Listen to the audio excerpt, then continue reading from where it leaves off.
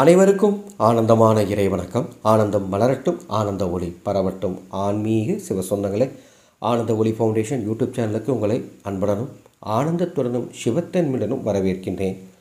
இந்த வார்த்தையை அடிக்கடி நீங்கள் சொன்னால் நீங்கள் செய்யும் காரியம் வெற்றியடையாது. அந்த ஒரு ஆலோசனை தான் உங்களுக்கு தரப்போகிறேன் அன்பானவளே நம்ம வாழ்க்கையில் நிறைய முயற்சிகள் எடுக்கிறோம். எல்லா முயற்சிகளும் வெற்றி அடையுதான்னு கேட்டால் இல்லை.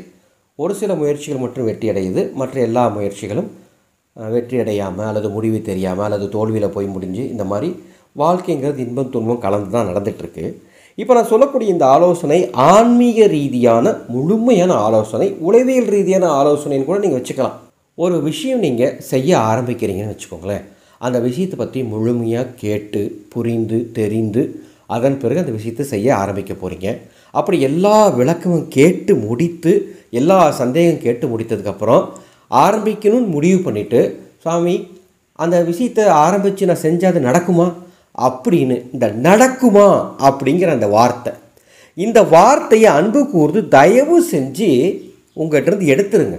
எந்த காரியத்துக்கும் ஆன்மீக பூஜைகள் ஆன்மீக பரிகாரங்களுக்கு மட்டும் நான் சொல்லலைங்க. பொதுவாகவே ஒரு தொழிலை ஆரம்பிக்கிறீங்க அப்படின்னா அந்த தொழிலை ஆரம்பிக்கணும்னு முடிவு பண்ணிட்டீங்க அந்த தொழிலை உங்களால் செய்ய முடியும்னு முடிவு பண்ணிட்டீங்க அப்படின்னா நல்லபடியாக ஆரம்பித்து அந்த தொழிலை வளர்த்து மேலே கொண்டு வாங்க.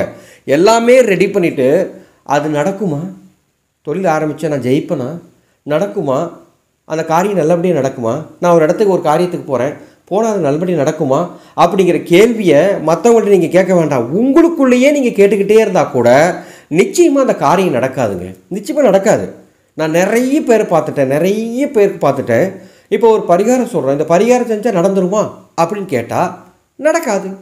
நடந்துருமான்னு கேட்கும் பொழுது அந்த இடத்துல என்ன நடக்குது அப்படின்னா அந்த இடத்துல ஒரு அபசகுணம் வந்துடுது அந்த அபசகுணம் வந்த காரணத்தினால அந்த காரியம் நடக்க வேண்டிய காரியம் கூட இவங்களுடைய மனதின் ஓட்டத்தின் காரணமாக நடக்காமல் போயிடும் என்னுடைய ஆலோசனை ஒன்று தாங்க எந்த ஒரு காரியம் செய்கிறதுனாலும் ஒரு முறைக்கு பத்து முறை யோசிங்க. பத்து முறை யோசித்து அந்த காரியத்தை செய்யுங்க. யோசித்து அந்த காரியத்தை செய்யணும்னு முடிவு பண்ணதுக்கப்புறம் நடக்குமா நடக்காதான்னு கடைசி நேரத்தில் திரும்ப யோசிக்காதீங்க. நீங்கள் அந்த காரியத்தை செய்யணும்னு முடிவு பண்ணுறதுக்கு முன்பாக எல்லா விஷயத்தையும் மனசுக்குள்ளே போட்டுக்கோங்க. எல்லாம் மனசு போட்டு எல்லாம் விசாரித்து எல்லாம் பண்ணி அதன் பிறகு ஆரம்பிக்கும் போது நடக்குமா அப்படின்னு ஒரு கேள்வி கேட்காதீங்க. முழு நம்பிக்கை உங்களுக்கு வந்தால் மட்டும் எந்த ஒரு காரியத்தையும் ஈடுபடுங்க. நடக்குமா நடக்குமா அப்படின்னு கே அந்த வார்த்தையை அடிக்கடி சொல்லாதீங்க. உங்களுக்குள்ளே கூட சொல்லாதீங்க. வெளியே சொல்லணுங்கிறது இல்லை உங்களுக்குள்ளே கூட சொன்னீங்கன்னா அது எந்த விதமான முன்னேற்றத்தையும் வராமல் தடுக்கும் என்பதை இந்த ஆடியோவின் மூலமாக சொல்லிக் கொள்கின்றேன். இந்த ஆலோசனையை ஏற்றுக்க விருப்பப்படுறவங்க ஏற்றுக்கொள்ளுங்கள். இனி நிறைய ஆலோசனை நம்ம சேனலில் சொல்ல போகிறேன் நிறைய பூஜைகள் சொல்ல போகிறேன் நிறைய வழிபாடுகள் சொல்ல போகிறேன் இதுவரையிலும் இந்த சேனலை நீங்கள் சப்ஸ்கிரைப் பண்ணிங்கன்னா சப்ஸ்கிரைப் பண்ணிக்கோங்க. பக்கத்தில் இந்த பெல் ஐக்கானை கிளிக் பண்ணுங்கள் உங்களுக்கு தெரிந்த அத்துணை பேருக்கும் பகிர்ந்து கொள்ளுங்கள். மீண்டும் அடுத்த ஒரு ஆன்மீகத்தோடு சந்திக்கிறேன். ஆனந்தம் மலரட்டும். ஆனந்த ஒளி பரவட்டும்.